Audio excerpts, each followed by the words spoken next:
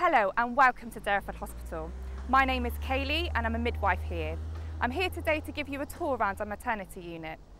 We understand that having a baby can be an exciting yet nervous time. We hope that this film will help to give you an insight into what to expect and to help prepare you for the birth of your baby. When you arrive at the maternity unit, this is the closest car park. If you are unable to find a space here, you can use one of the car parks near the main hospital. Please remember to bring plenty of change for parking. During the day, the doors open automatically, but at night you will need to press the bell on the right hand side of the door. This will be answered by our receptionist. This is maternity reception located on level 5 of the hospital. It is open 24 hours a day. It is the only route that you have to access maternity. When you can, please make sure you bring your green pregnancy notes with you. Hi Cynthia. Morning, Kaylee. This is the reception area. You do need to make sure that you report here so that they can check the details on your notes and show you where you need to go next. Wherever you do need to go on the day, this is always going to be the route. When coming into the hospital for your scans and appointments, you'll need to go to antenatal clinic. This is on level six of the hospital, located on the stairs here on the left. You'll find further information regarding this on the antenatal part of the website. For today's purpose, I'm going to show you the route that you need to take when coming in in labour. This is on level four. Come on, follow me. Today we're using the stairs. However, if you are in advanced labour, there is the option of using a lift and we will always send somebody to assist you. When you get to Central Delivery Suite, down here on level 4, there are two bells, one for our triage midwife and one for the labour ward. However, don't worry about that when you first arrive. It will always be the triage bell you ring. One of the midwives will then come out to meet you. Hello, my name's Claire. I'm a midwife working in triage today. When you come into triage, we'll assess you and your baby. We'll look at different things that will give us a picture about um, if you're in established labour or not. So we'll look at what your contractions are doing, um, we'll look at your baby's heart rate, just monitor that, and look at things like your blood pressure, just to give us an idea where to go from here. If we find that you're in established labour, then we'll take you down to a delivery suite where you'll have your baby. Or you may find that we'll have a chat with you about the different options for making yourself feel more comfortable whilst you're waiting for labour to establish at home. This is the midwife station in the centre of the labour ward. During your time here, you may see lots of different members of staff in different uniform. To find out more information about what these members of staff do, there is a link on the website. This is Emma, one of our coordinators. So Emma, tell me more about the life here on Labour Ward. Okay, well we have 13 labour ward rooms, including a high dependency room and a water birth room. We arrive here onto the labour ward, we have antenatal patients, we also have labouring women and postnatal ladies. During the time here, you'll be cared for by a midwife. The vast majority of our midwives work 12-hour shifts, and that's to help promote continuity of care. However, you may see more than one midwife during your time here on the labour ward. Um, when they arrive um, from the triage area, you'll be welcomed by your midwife and there's always a coordinator like myself here as well. So we have an open visiting policy here on the labour ward. When women have delivered, they either go home straight from the labour ward or they go up to the postnatal ward. Once you are in established labour, you will be taken to one of our delivery rooms by a midwife. In here is all the equipment needed to monitor you and your baby. Once you're in established labour, we encourage you to continue using those pain relief methods you were using whilst at home.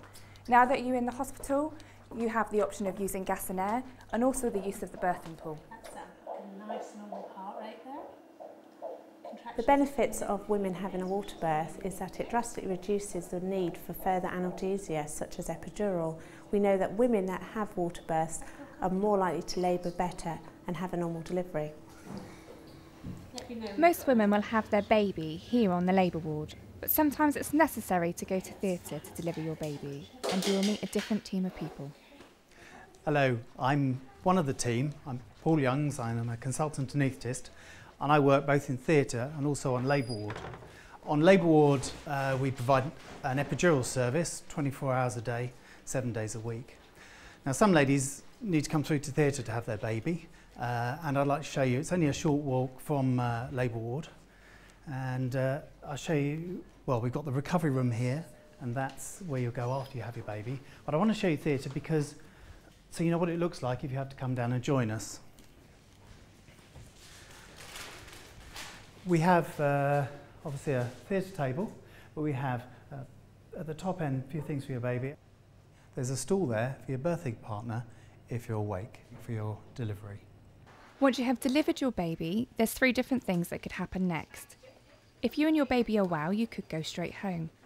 However, you and your baby may need additional care, so you could go to either Argyle Ward or the Transitional Care Ward. Hello and welcome to Argyle Ward. My name's Bobby McQuinney and I'm the ward manager. Whilst you're here, you'll be cared for by midwives and maternity care assistants. We also have some domestic staff who are here to tend to giving you refreshments and meals should you require them.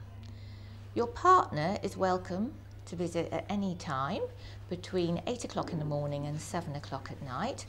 Uh, friends and family, we look forward to meeting them between 4 o'clock in the evening and 7 o'clock.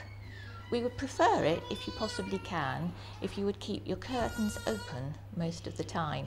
This helps us because then we can actually engage with you and your baby and recognise when perhaps you might need and benefit from some help. If you come here, we really look forward to seeing you then. Some babies may need a little extra care and will be transferred to the Transitional Care Ward on level 5. This is Jackie, a midwife and ward manager on Transitional Care Ward. So Jackie, why would mothers and babies come here rather than Argyle Ward? Babies who are born too early or too small, up to six weeks before their due date, would come here. Obviously, the reason for coming here is the baby rather than the mother. So if the mother is fit and well, we would expect that she would normally go home. But in this case, on this ward, she can stay and help to care for her baby. Thank you very much. And this is Kelly. Kelly, what care would babies expect to receive here? I work as part of a team of nursery nurses on the transitional care ward who work alongside each other during the day and night to provide extra care and support for babies who need extra monitoring. I work alongside mums to help establish feeding and to keep babies warm as we know this will get them home a lot quicker. If your baby is born prematurely or has any complications, it may come to our neonatal intensive care unit, or NICU for short.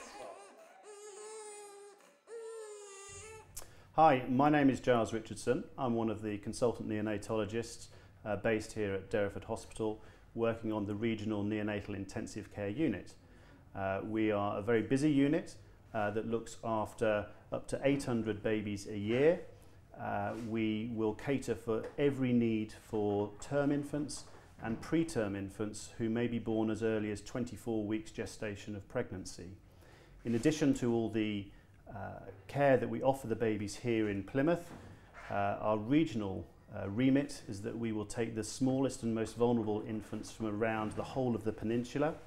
We also operate a regional neonatal transport service uh, and that undertakes over 360 moves a year, moving babies around the region and up to Bristol for surgery should they require it.